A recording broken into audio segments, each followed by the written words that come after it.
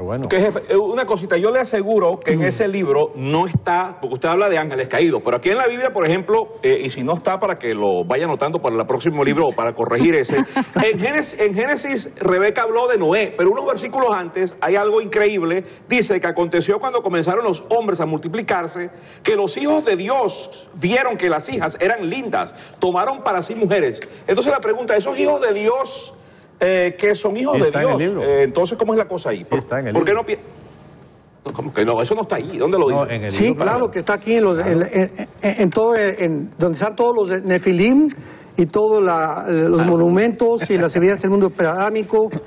Eh, el escenario es el capítulo 14, el capítulo 13, 14 Ah, y 15. U- uso tres capítulos precisamente para hablar sobre la genética que fue infiltrada. Otra vez, Satanás siempre ha tratado de, cuando se le prometió a la mujer, Génesis 3.15, que de la semilla vendría el Mesías, Satanás se vino, pero directamente a la yugular, atacar la semilla, o sea, la genética del ser humano. Y lo vemos en el primer intento en Génesis 6, cuando los ángeles eh, se quieren mezclar con las mujeres para alterar la genética. ¿Cómo lo sabemos? Porque la frase los hijos de Dios ven Elohim en el hebreo se traduce cinco veces en todo el Nuevo Testamento como ángeles. Nunca en el Antiguo Testamento hijos de Dios se usa para referirse a los seres humanos hasta el Nuevo Testamento. Entonces vemos nosotros que realmente hubo una infiltración genética que produjo los Nepilim, los que César mencionaba, Ah, que es la palabra que se tradujo gigantes en el versículo 4, que tenían cuatro metros de estatura, 12 dedos en las manos y 12 dedos en los pies, de acuerdo a 2 de Samuel capítulo 21. Entonces, estos gigantes los acabó completamente David y lo encontramos también en 2 de Samuel capítulo 21.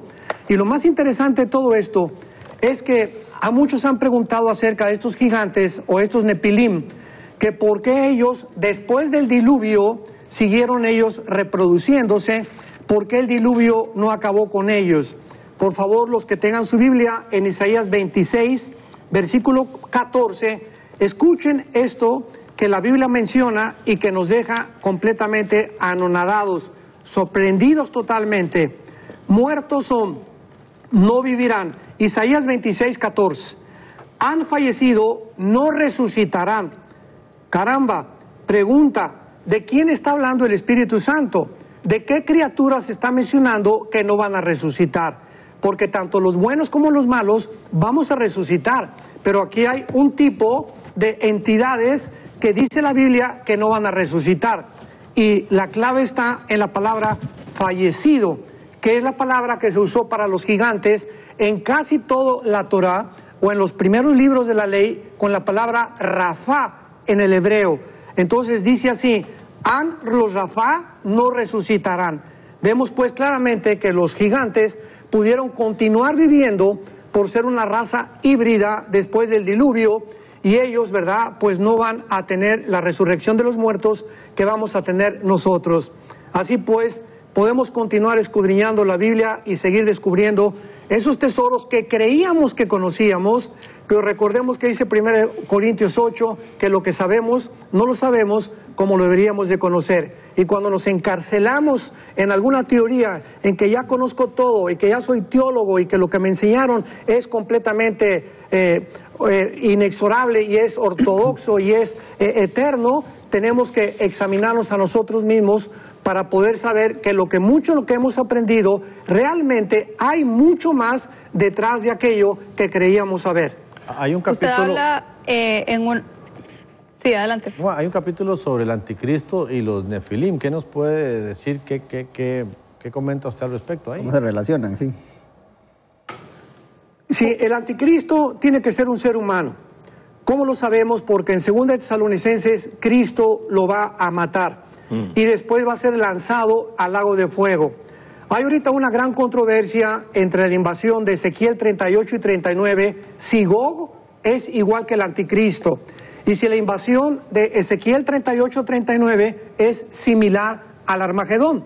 Y muchos han creído que realmente Gog es el anticristo y que el anticristo y Gog son la misma persona. pero estoy haciendo otro libro al respecto de eso y no vamos a entrar ahorita a profundizar en eso.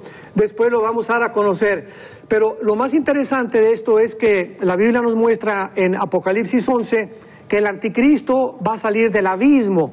Y cuando digo el anticristo, estoy hablando del principado satánico que ya existió antes de que Cristo, el eh, anticristo naciera y va a entrar en la persona humana del anticristo para capacitarlo y darle los poderes que el anticristo va a tener. Entonces el anticristo va a, ser, va a tener una personalidad dual. ¿Cómo lo sabemos? Los cristianos pregunta, ¿cuántos espíritus tenemos? Tenemos nuestro espíritu y el Espíritu Santo, ah, ¿correcto? Entonces tenemos dos espíritus dentro de nosotros. Así lo mismo vemos nosotros que en el área del mal, Satanás puede también enviar espíritus a personas no cristianas para que tengan una personalidad dual. Esto la psicología le llama múltiples desórdenes de la personalidad. O sea, una, un ser humano puede tener tres, cuatro personalidades. El Gadareno tenía cinco mil espíritus dentro de su vida. Y todo esto nos ayuda a entender por qué el anticristo va a tener los poderes que va a tener y por qué el anticristo va a ser una persona que le abrió su vida totalmente a este principado satánico que le va a dar los poderes de inclusive resucitarlo cuando sea asesinado. Sí, de hecho usted dice que eh, el futuro gobierno centralizado estará en manos de un dictador con poderes sobrenaturales como jamás se había visto en la historia humana. Aparte de, esta, de la resucitación, ¿qué otros poderes en el día a día va a, poder tener? Bueno, una de las cosas que nos sorprende en Mateo 24 que Cristo mencionó como una de las principales señales es que serían engañados. El poder más grande que hay ahorita en el mundo es el engaño. Es impresionante. Sabemos que el mundo está loco, pero más locos están los que siguen a los locos. Vivimos un mundo completamente conflictivo en la política, en la religión, en la filosofía, donde realmente nos damos cuenta que ya la estabilidad y la sanidad mental en la mayor parte de las personas se ha evaporado totalmente. Los seres humanos están actuando ya realmente más bajo que los animales. Entonces el anticristo dice según Tesalonicenses que Dios va a usar un poder engañoso y Dios va a mandar este poder a fin de que sean condenados aquellos que no quisieron recibir el conocimiento de la verdad. Entonces, el poder más grande que existe ahorita en el mundo es el poder del engaño. Por eso tenemos que vivir de rodillas en la palabra, porque es facilísimo que cualquier ser humano, pastor, misionero, cristiano, seamos engañados. Mm.